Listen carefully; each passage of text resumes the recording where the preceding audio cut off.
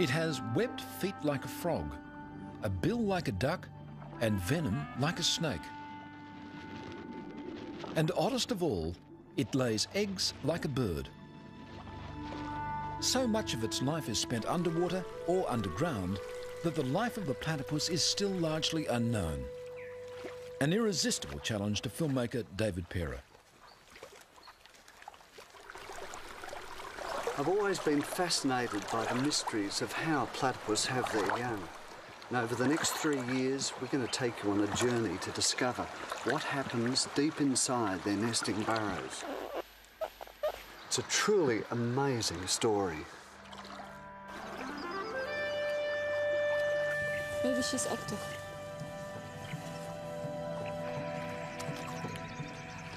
By tracking its daily life, researchers will help Parer reveal the most intimate moments in the life of what is surely the strangest animal on Earth.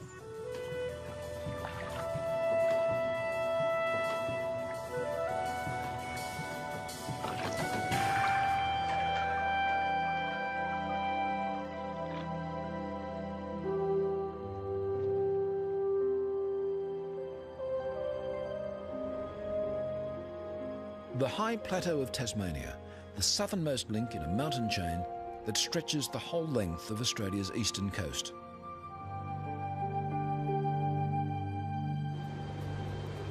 When the winter blizzards blow in from the Southern Ocean, life here gets tough.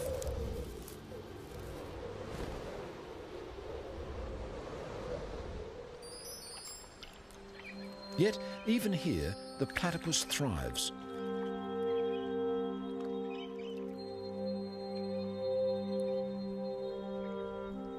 Its thick fur provides near perfect insulation as it forages for a sparse living in the frozen tarns.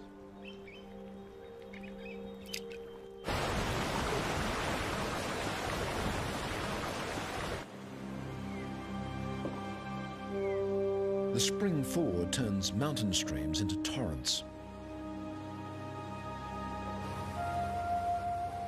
Humans are rare in the remote Tasmanian wilderness, but platypuses are plentiful.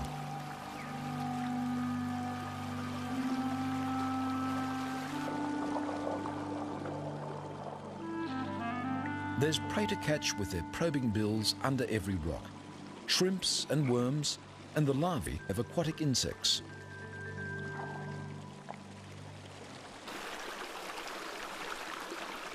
I've looked for platypus up and down the east coast of Australia, but the wild rivers of Tasmania are the greatest place to find them. But even here, they're difficult to see. They seem to meld into the water and rocks, and then suddenly disappear. When Europeans first encountered it, the platypus seemed almost too weird to be real. The name comes from the Greek for flat-footed, Yet it was the creature's duck bill that most fascinated 19th century zoologists.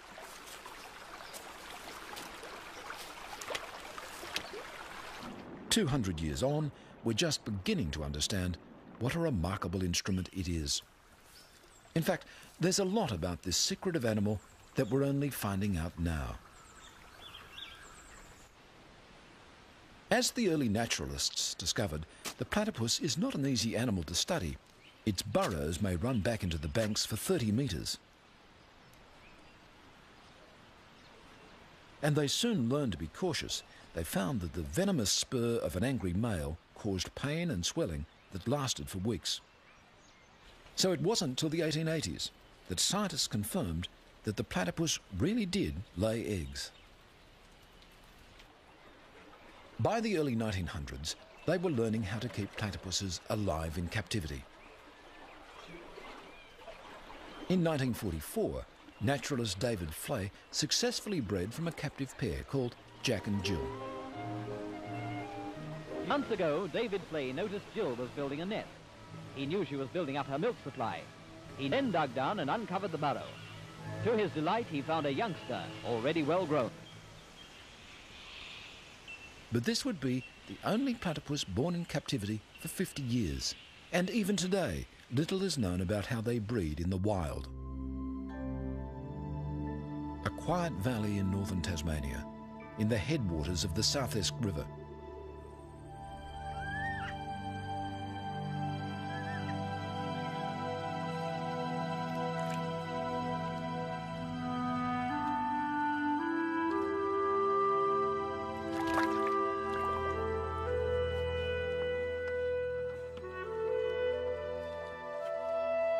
Unassuming farm dam proves an ideal site for biologist Nina Kosh. She needs to trap a female platypus, the first step in an ambitious project. It's really unbelievable that these farm dams can be such a good place for platypus to live in. They seem to be enormously productive, ideal habitat for females to breed in.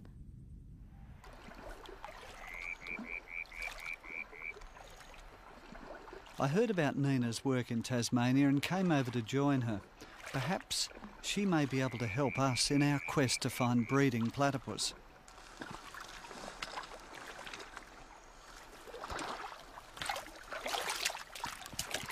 Nina has been fascinated by the platypus ever since she saw one on TV as a child.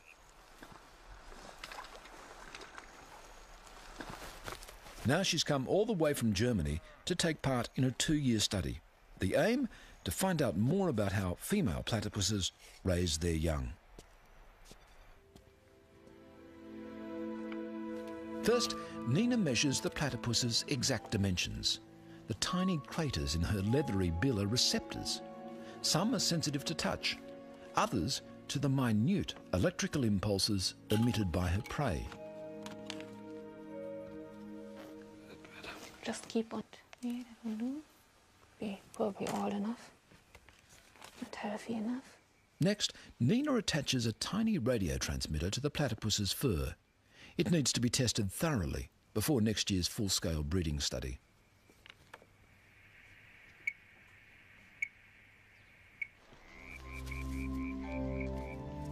Nina decides to call the female Shy, after a platypus character in a children's book.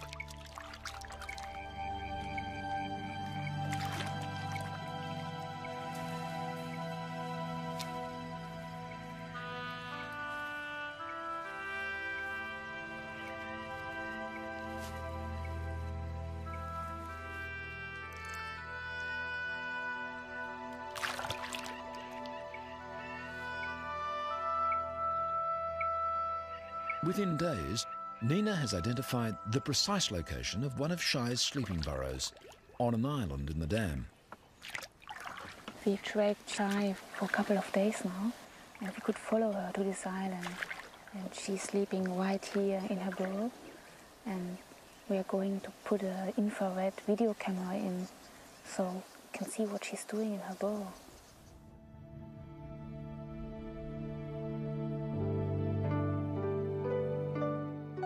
Just before dawn, Shy returns to sleep.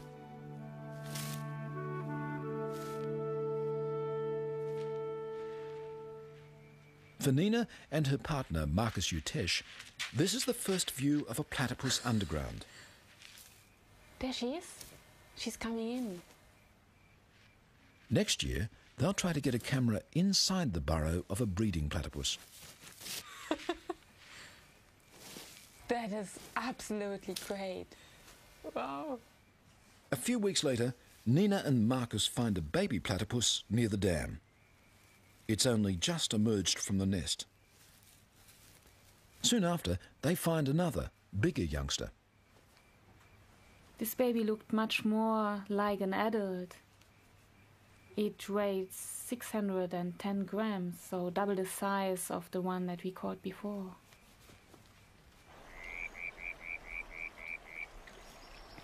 We released his baby in one of the farm dams, and then it started immediately to, to feed along the border of the lake.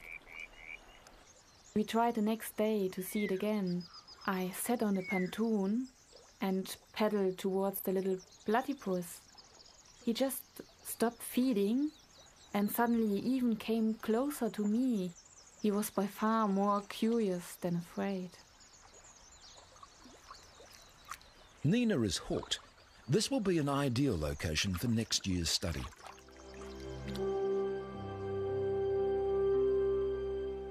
The only other animals on Earth that are even distantly related to the platypus are the echidnas.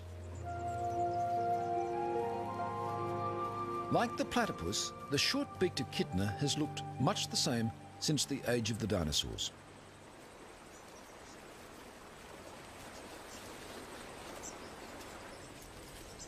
It too has evolved a highly specialised mouth, not a bill, but a beak, which can be used as a crowbar if need be, and a long sticky tongue to pull ants and termites from deep within their nests.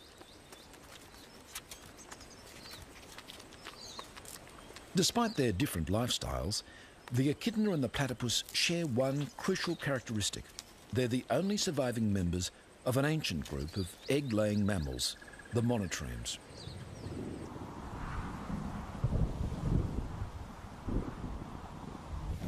That's, that's pasta. Peggy Rismiller and Mike McKelvey have been tracking and studying echidnas for 15 years.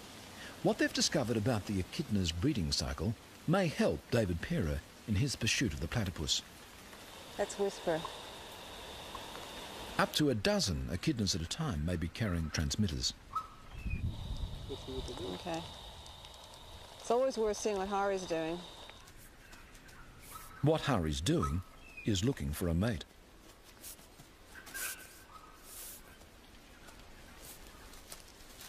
Mostly, echidnas lead solitary lives, but when a female comes on heat, males will gather from far and wide. But the females emit a scent, and the scent is called a pheromone, and it's something that humans often can't smell, but obviously the, the males can smell it. The pheromone, of course, would be able to go cross country on wind and attract the males. And we've seen males cross this peninsula several times and then eventually end up with a female. Harry and several other males are already here. And Whisper is on his way. Yep, he's there. Whisper joins what's called an echidna train, a group of males all paying court to a single female. Okay. She has no burrow over here? A train can stay in place for up to a week, with the males constantly jockeying for position. They must be patient, but ready for instant action. Mating will take place just once when the female decides that the time and the partner are right.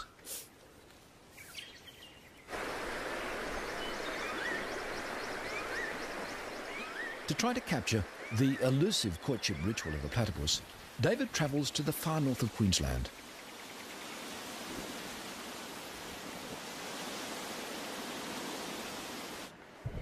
Here, in the tropical rainforest, the mating season has already begun.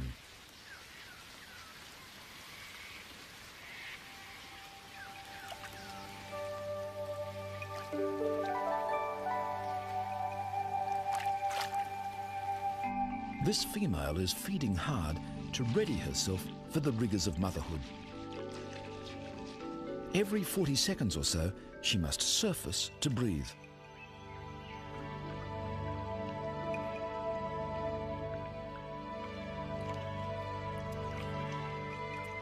This is when she's most vulnerable. Eyes and ears are open wide, alert for danger. But as soon as she dives, she shuts them tight. Using only the sensors in her bill, she's built up a detailed mental map of her feeding ground.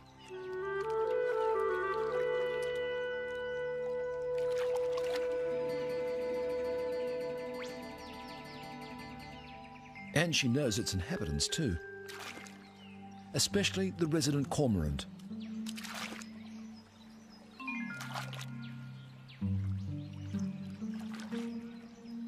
White-faced heron minds its own business.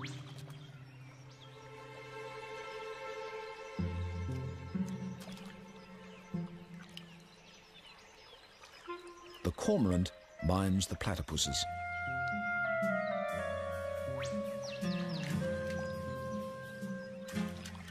Each time the platypus dives, the cormorant follows, snapping up shrimp and small fish flushed out by the foraging platypus.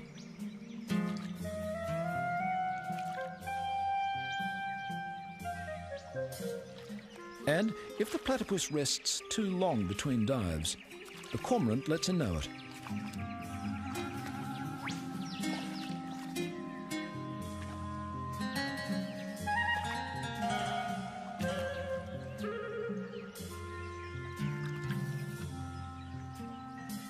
In this particular river system, almost every pool has several resident platypuses and a single cormorant ready to exploit them.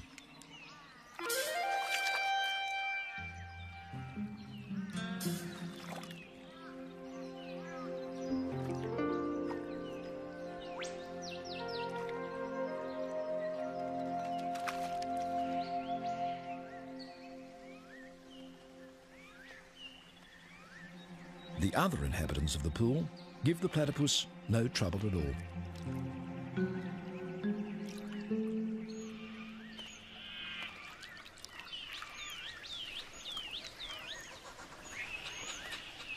The azure kingfishers are peaceable neighbours too. They may occasionally snap up fish and shrimp she drives to the surface, but at least they don't harass her to dive for them.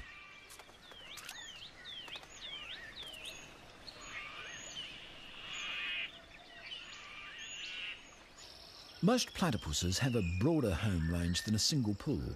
This muddy tributary to the main stream is a favourite feeding ground.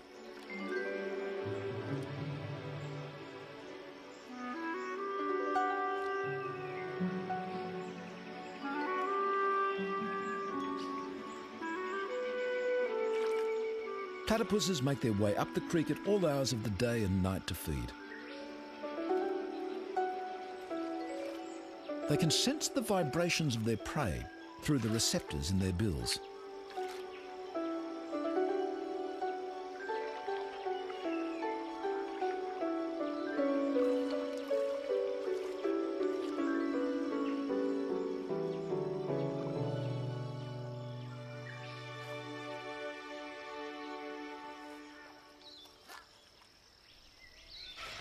I've been here for about three months now and been desperately trying to find a place where the platypus are courting.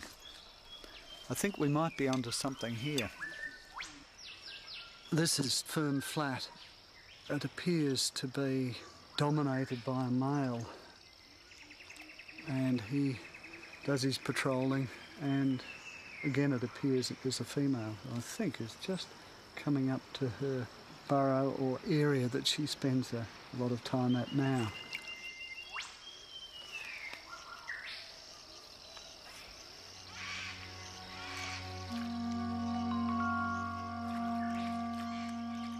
As the light begins to fade, the platypuses start to make their way further up the narrow creek. There's even better feeding where it runs through cleared farmland, but the platypuses will only venture there at night.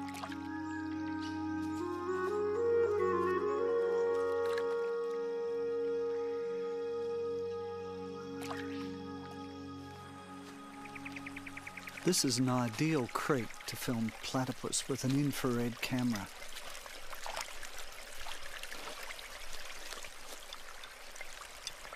I really like using infrared cameras because you can capture behaviours at night that no one's ever seen before.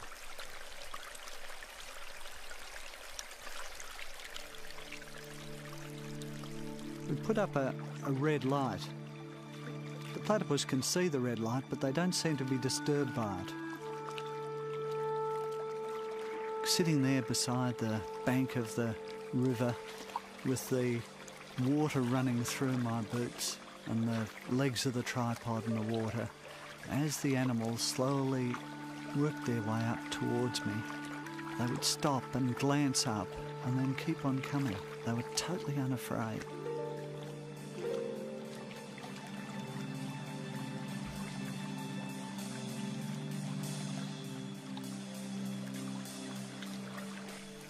In the first hour after dark, six platypus passed me.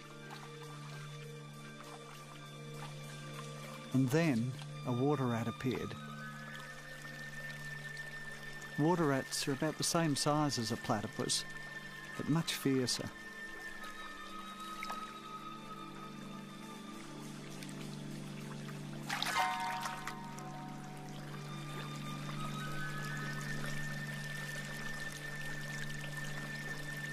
Few nights later, David Parer sets up his infrared equipment on a bridge overlooking the main river.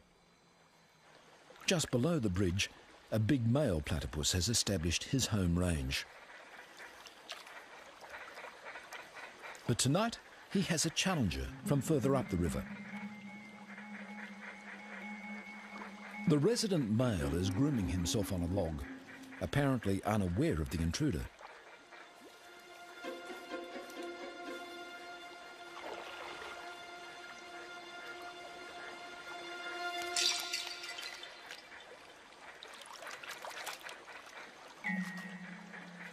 Despite being caught by surprise, the resident male has won the encounter easily. He hasn't had to use his most damaging weapon. The poisonous spur on his hind leg is fed by a venom gland that in the breeding season reaches its maximum size. Day and night now, the big male patrols his home range.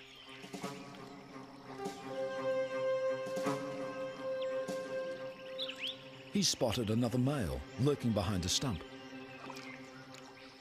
Without hesitation, he steams into battle.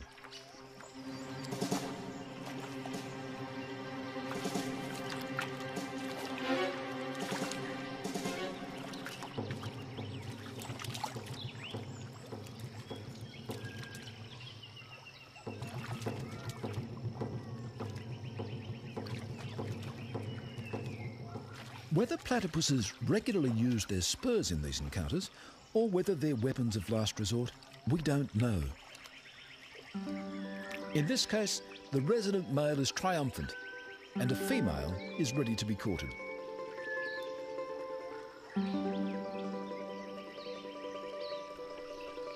The male grasps the female's tail, and the courtship dance begins.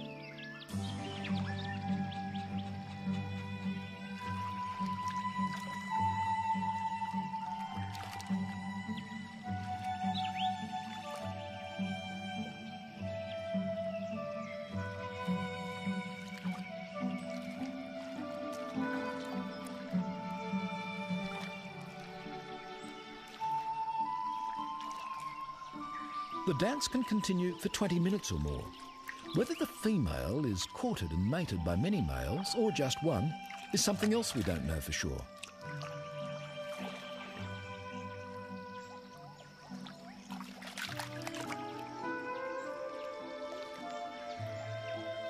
Finally, it looks as though the male mounts the female and mating takes place.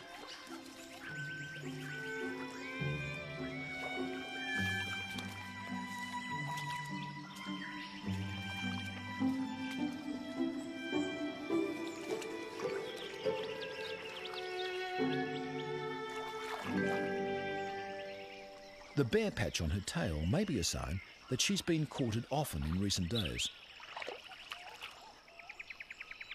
Now she's returning to her nesting burrow. One or two eggs, perhaps even three, are on the way.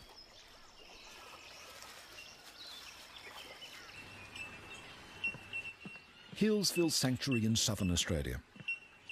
Much of what we know about platypus mating and breeding has been learned by Les Fisk and his colleagues from the captive animals at Healesville Sanctuary. For 10 years, a male and female platypus have lived in this elaborate artificial world. Through a maze of tunnels, pipes, and tanks, video cameras record their every move.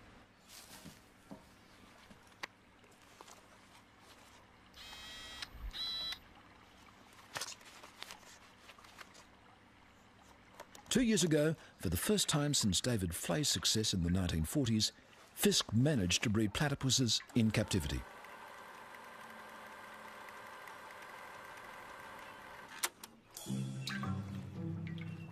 For most of the year, Karina, the female, will have nothing to do with N, the male. But spring is in the air at Healesville Sanctuary.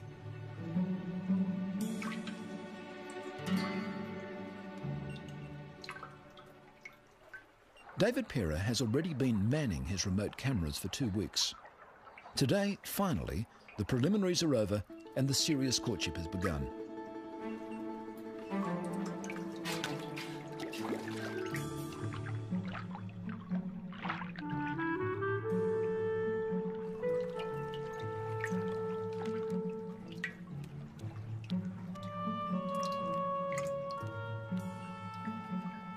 That she's ready to mate can be fleeting.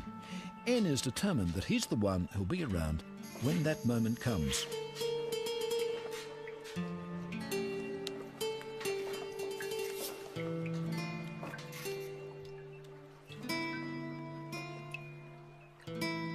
But her attempted escape was all part of the ritual. Karina soon returns to the dance.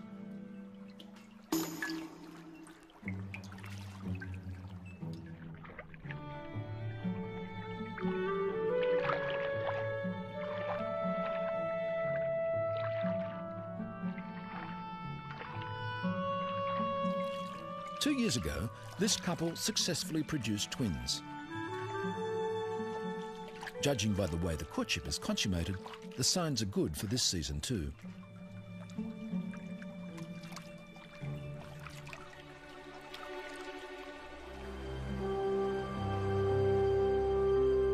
Summer has come again to Tasmania, and its wild rivers are swollen with melting snow.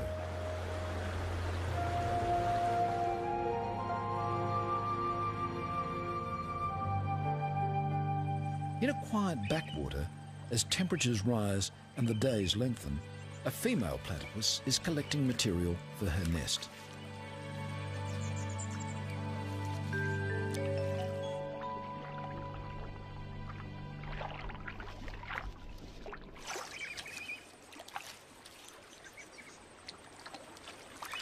She takes leaves one by one in her bill and jams them under her tail.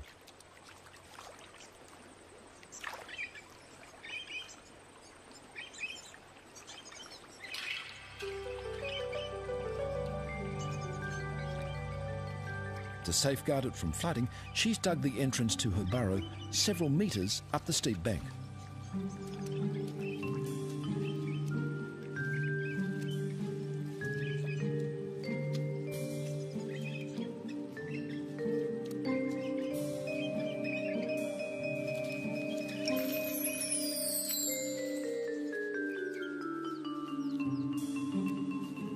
Over the next few days, she'll make dozens of trips like this until the nesting chamber at the end of her long burrow is lined with sticks and leaves.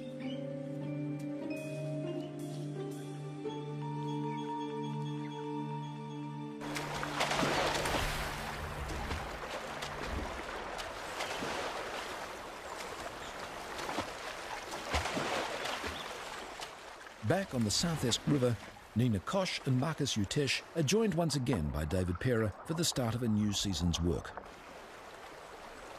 In the early afternoon, we go down to the South Esk River and set up a series of nets.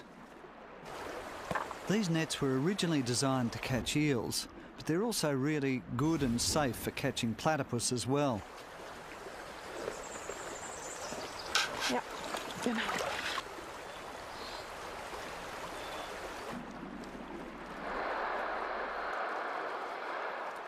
They position the nets across the water flow to trap the nightly traffic of platypuses as they feed up and down the river.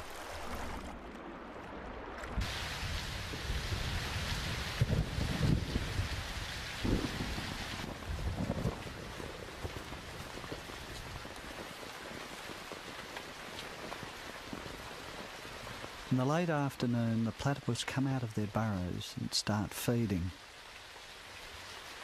They're very good at avoiding nets because their sensitive bill can pick up the water flowing through the mesh.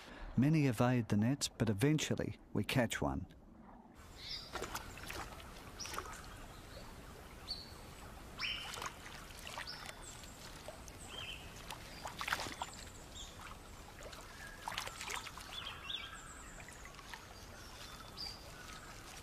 Judging by the dates that last year's youngsters emerged from their nesting burrow, Nina and Marcus have worked out that the females will be laying their eggs very soon. Now is the time to fix radio transmitters to them.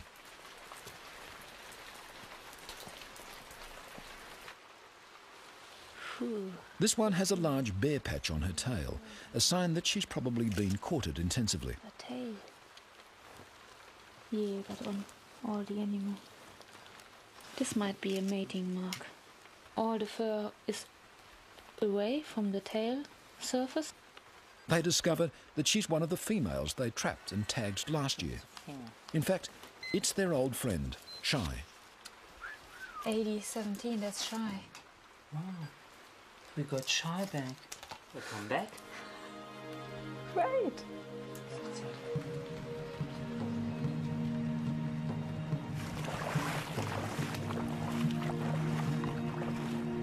After several weeks' exhausting work setting nets up and down the river, Nina and Marcus managed to catch seven females.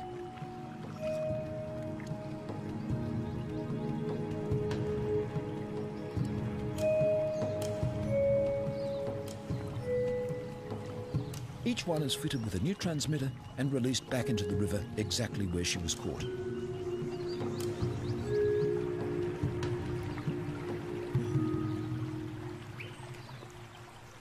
For Nina and Marcus, it's the start of another period of intense work, tracking all seven females for hours at a time.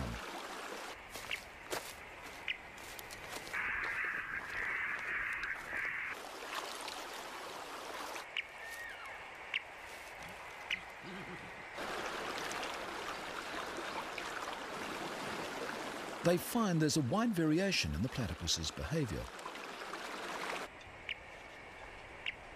Some feed mostly in daylight. Others sleep during the day and feed all night. Some travel a kilometre or more up and down the river each feeding session.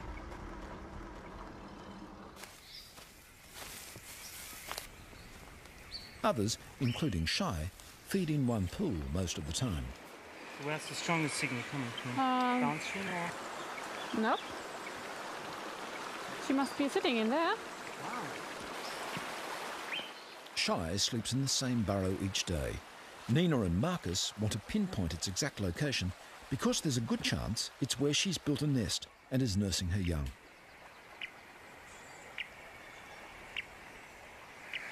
Get reception here. And it's getting weaker. Which gain do you have? 10. Gain 10, maximum game. Gain 10 and I only have like one. Hmm? I would say it's about here. It must be around here. Not this point here. Gets weaker here. But it's exciting. Get another burrow. Yep. And we should And this one the looks a bit. This one looks a bit different than the Yeah. others. Yeah. We should mark the entrance. to- Um,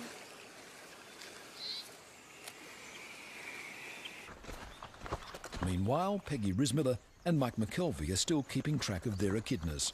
You think try again from here? Oh yeah, right towards that cypress.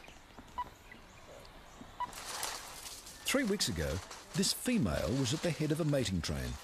She should by now have laid an egg.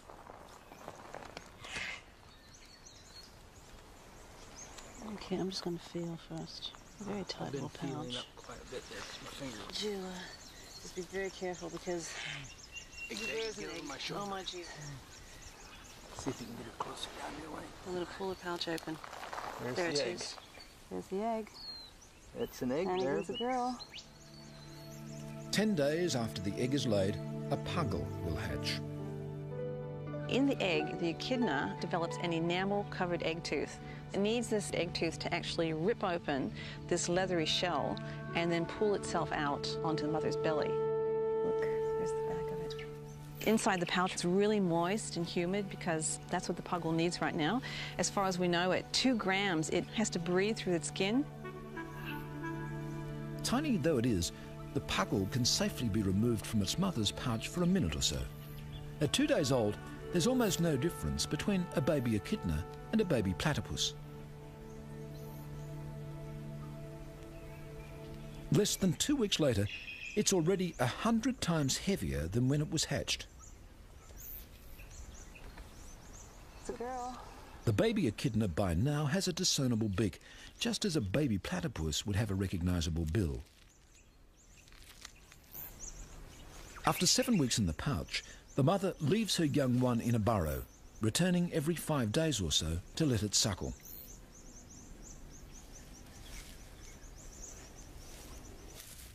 Instead of nipples, the mother has specially adapted pores clustered in patches on her tummy. As the baby suckles, the mother expresses the milk through her skin. It doesn't need its eyes. I think it's like all very small animals. They go on scent. And so the young is scenting where the milk patch is. At six months, the young one is almost ready for independence.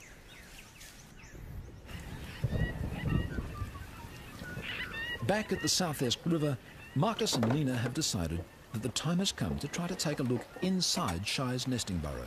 Kann das so ein Wader sein von dir?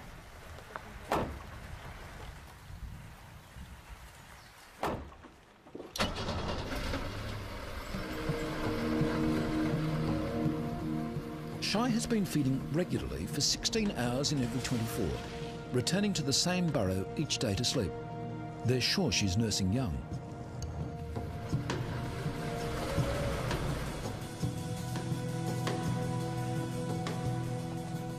It's late evening. Shy's already left the burrow to feed. Nina, Marcus, and David have at least eight hours to try to get a glimpse inside the nesting chamber.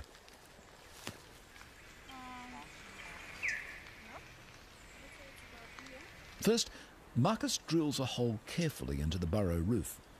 Frequent measurements over the past two weeks have told him exactly where and how deep to drill.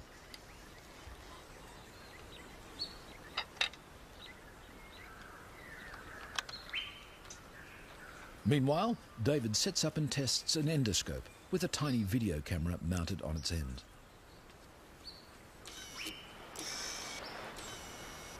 So down is like that. Yep. So straighten it up.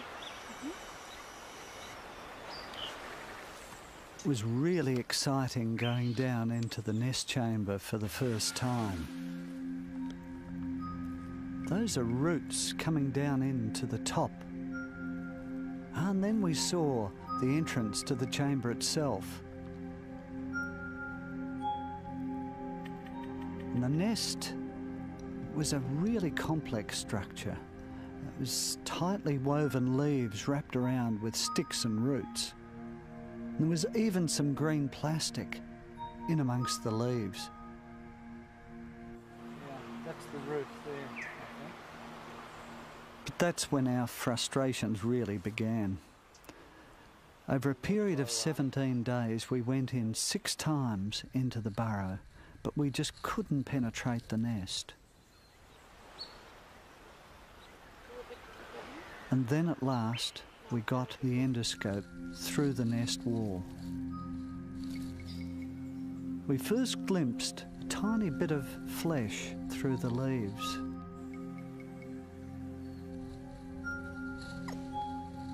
And then another period of frustration, half an hour trying to get a glimpse of the bill.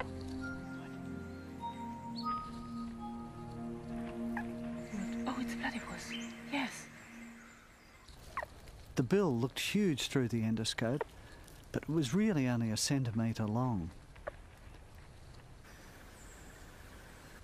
The front feet already had claws. And then, to our amazement, we saw there were two babies, not one, crammed into the tiny nest.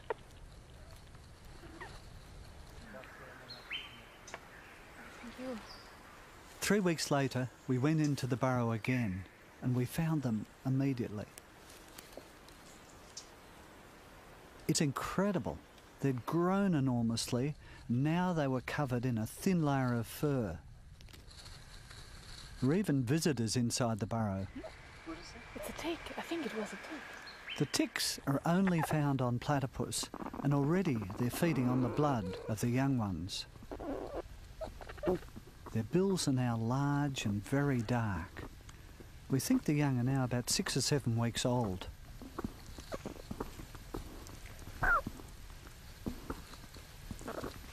We're eager to see how the various parts of their body have developed. Their front feet have webbing between the toes, and on their back foot is the beginnings of a spur. The smaller one is female. The larger one has a much bigger spur It's obviously a male. We called him Bigfoot.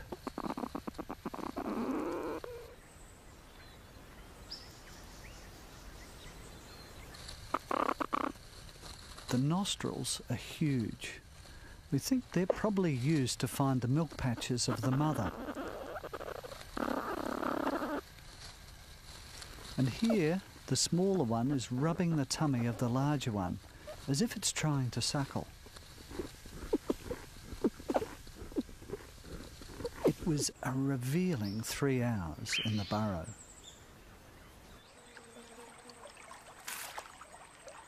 Nina is spending hours each day by the riverbank recording Shy's feeding patterns.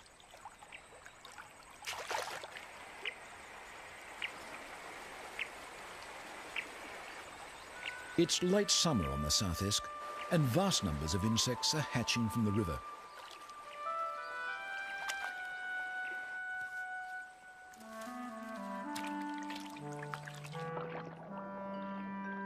It's an ideal time for Shy to be feeding her young. She's just feeding enormously. She spends 16 hours out in the river and she just goes along the river and wherever she is, just feeds. Unbelievable hungry little female.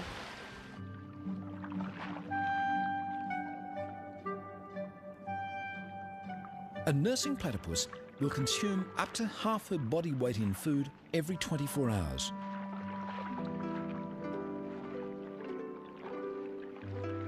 Most of it consists of tiny morsels, which she must somehow find and separate from the leaves, mud, or gravel on the riverbed.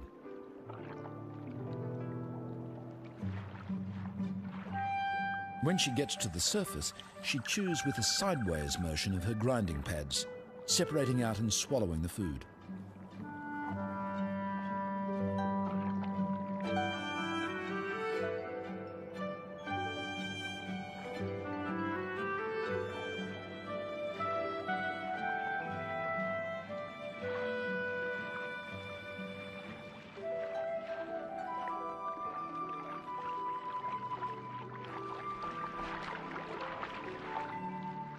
A single feeding session, she may dive up to a thousand times.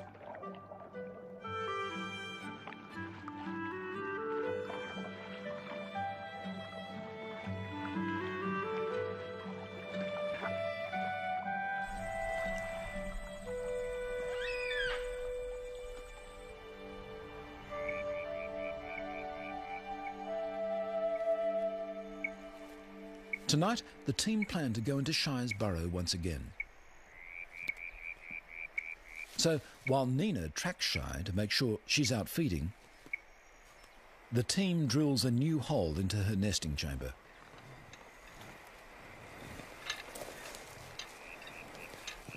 This time, they're installing a tiny remote controlled camera that will be able to film Shy feeding her young without disturbing her. Illumination comes from miniature infrared lights, which she can't see. And as well as the camera, there's a microphone to pick up sound inside the burrow. That's the big one. There. Oh.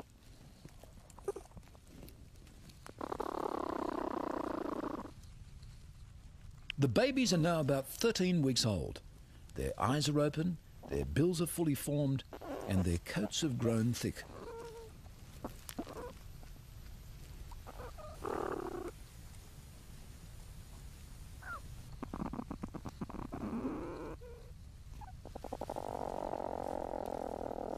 While Bigfoot plays with tree roots in the roof of the chamber, the smaller one is perhaps getting ready to take on solid food.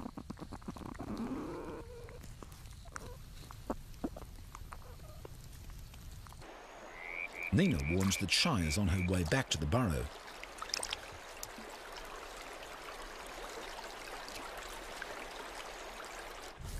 As she approaches the nesting chamber, she unblocks the earthen plugs which she set there to protect her young.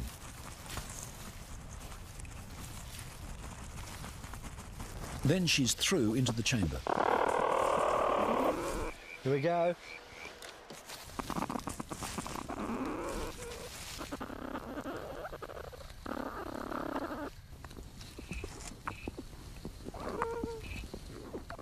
Within minutes, the eager young are greedily suckling from their mother's milk patches.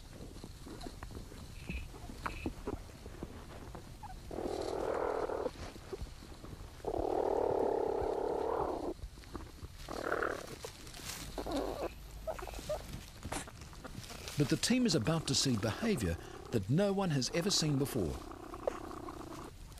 That is amazing.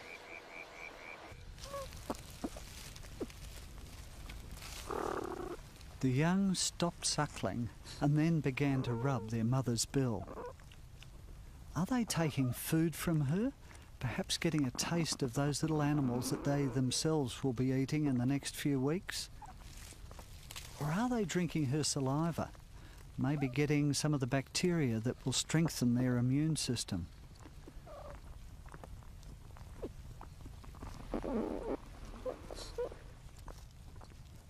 Don't really know what we're seeing in these extraordinary pictures.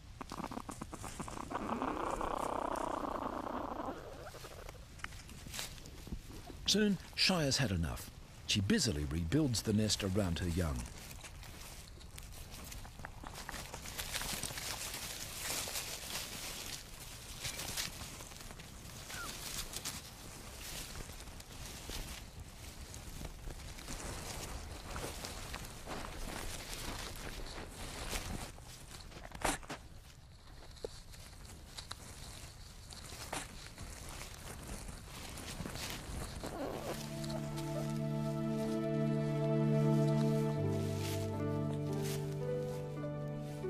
Then she's gone, leaving a tangle of tails and bills behind her.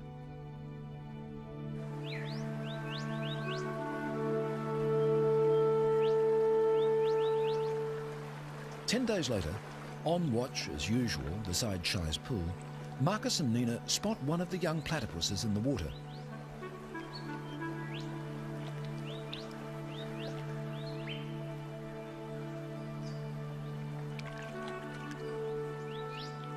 Bigfoot, the male, has emerged from the nest. The team watches, enthralled, as the last chapter in the drama they've been following for months unfolds.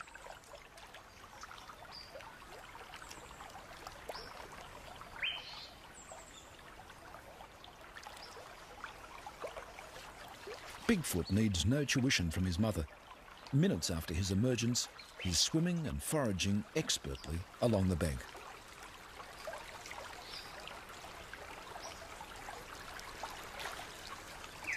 He asserts his independence swiftly.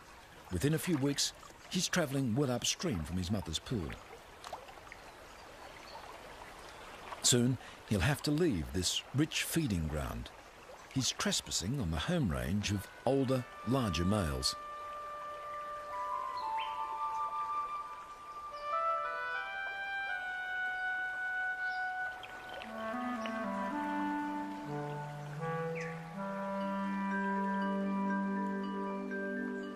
As Bigfoot begins his journey of life, our journey of discovery is coming to an end.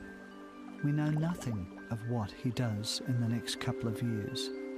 In fact, I feel that we've only just scratched the surface in understanding the platypus, one of the most mysterious animals on Earth.